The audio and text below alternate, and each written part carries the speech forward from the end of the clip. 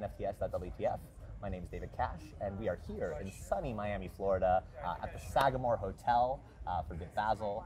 Um, and I am joined with one of my dearest friends, metaverse pioneer, artist extraordinaire, founder of the Techism movement, Krista Kim. How are you doing today, Krista? Thank Wonderful. you so much for being here. Thank you so much. I'm so happy to be here with you, darling. Such a pleasure. And of course, doing this in front of Continuum, the next leg of the tour. We've seen it in Toronto, we've seen it in China, and now we're here at Art Basel, Yes. experiencing it right here, right I'm here so in the happy. flesh. I'm so happy to be here at the Sagamore Hotel. They've been so hospitable, and I love the the way that they really embrace the arts and are really so supportive of having artists do installations here. They're really wonderful. Yeah, and it's so amazing to, to travel and come and see your art at this scale. Thank you. Um, all over the world. Thank you so much, really. It's such a pleasure. And you know, I mean, it's wonderful that I'm actually bringing this um, message of decentralization and healing and wellness to the gradient and bring it to Miami during this really incredible, like historic Art Basel. actually. Absolutely, absolutely. Yeah. NFTs are taking over this year, as as we have witnessed firsthand.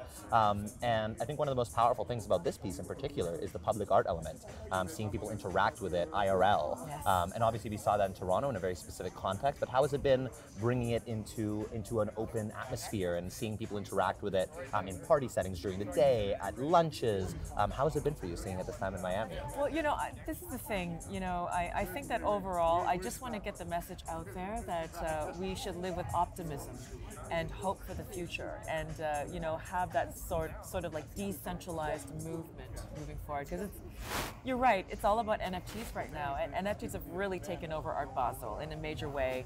Um, I'm also involved in the NFT Now curated show for Chris. Christie's, and I'm with some incredible artists, like really, really top notch. And it's been such an incredible sort of how can you say this? Like, all of us know that we're part of a greater movement.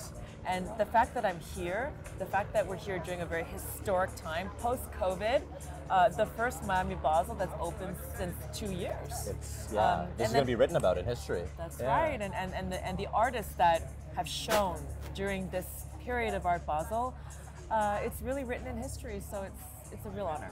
Oh, it's beautiful. And you've absolutely been very busy this week.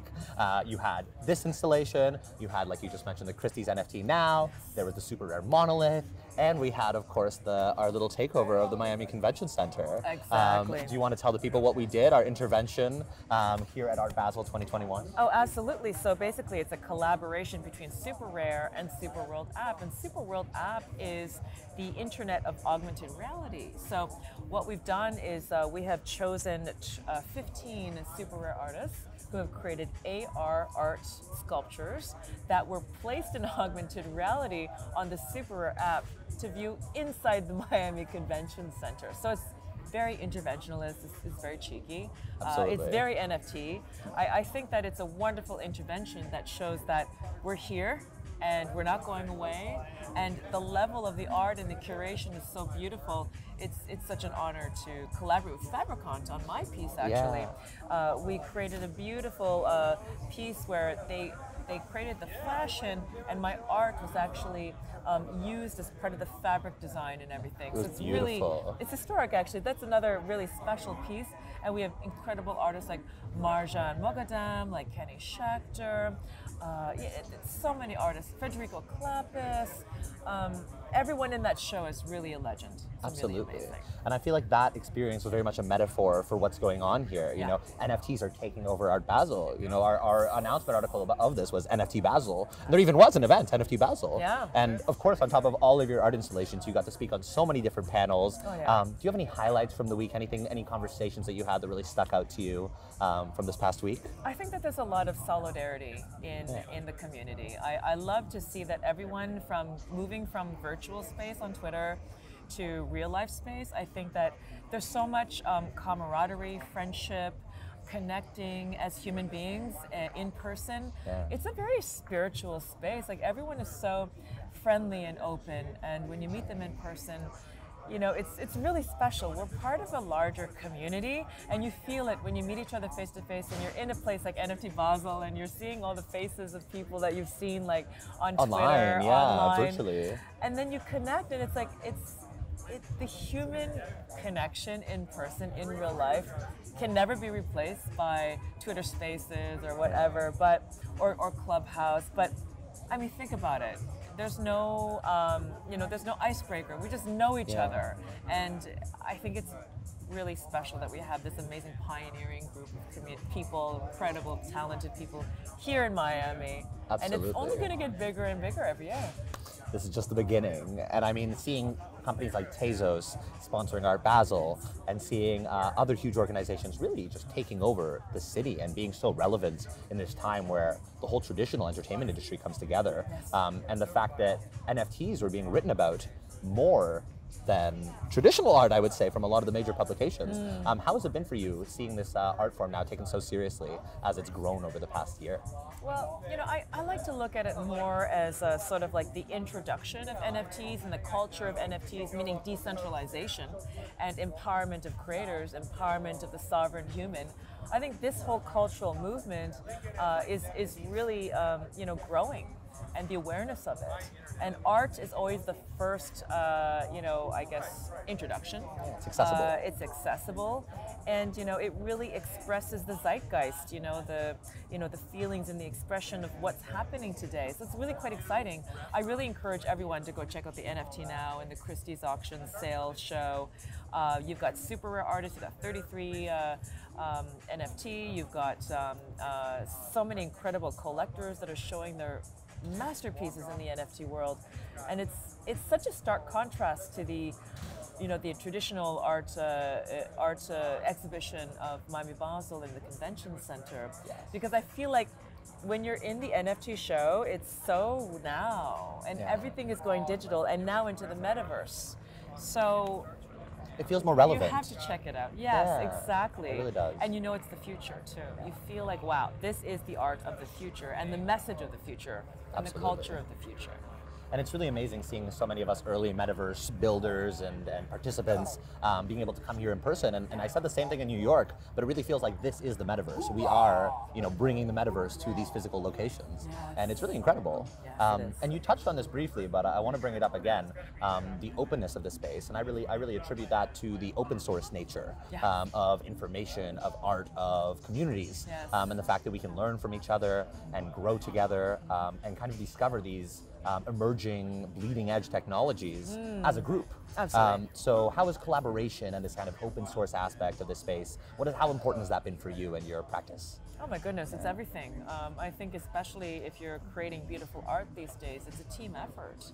Um, I think that in the space also, you can't do it alone. Uh, you know, it's you have relationships with the collectors, you have relationships with the artists, you have relationships with the with the promoters. You know, the people who are actually there, like yourself. You know, really advocates for the space and and um, helping promote the art, helping promote the culture. So we need each other. The the interdependence and the, the collaboration is really a beautiful thing to see and web 3 i mean this is this is what it's all about. It's Yeah. you see miami is really a hub for like cryptocurrencies. You've got even in the sagamore hotel um, you have like a conference on cryptocurrencies. It's the future. The crypto revolution is here and we are as artists we are the ones who are really pivotal in creating you know culture for that for that uh, for web 3 so Absolutely. it's special. I mean, I feel like I get goosebumps sometimes when I think about how how important uh, you know this this time is right now in Miami, and what we see and what we're witnessing, uh, the conversations and the relationships that we're making right now. It's these are people you're going to collaborate with to actually create the pioneering forces of the future. It's really incredible. Absolutely. And it's such a lovely thing, uh, you know, where we are right now, where um, our collectors, our collaborators, the people that we work with, are the community that we are working for and with. Um, and we've really like reached a point where um, all of these roles almost blend together, and we've we've built a real community here. And each of our communities um, are interoperable, as is the space. So I think it's really exciting, and you are definitely one of the pioneers pushing this space forwards. Um, so I appreciate you. I know a lot of people watching appreciate you. Um, and yeah, I don't want to take up too much more of your time. Oh, um, but just uh, just to summarize and, and let people know, um, what do you have going on? What's for sale right now? Where should people? Uh, what should people Google uh, to see what Krista Kim is up to right now? Well, I have two major things that are going on right now. The first is that I've listed a piece for auction in Christie's that has already reached its reserve price. And um, my Continuum installation is here until Sunday. Awesome. And uh, the plan is basically to create and produce a world tour of Continuum. So it's a it's a wonderful experience here to show it at the Sagamore.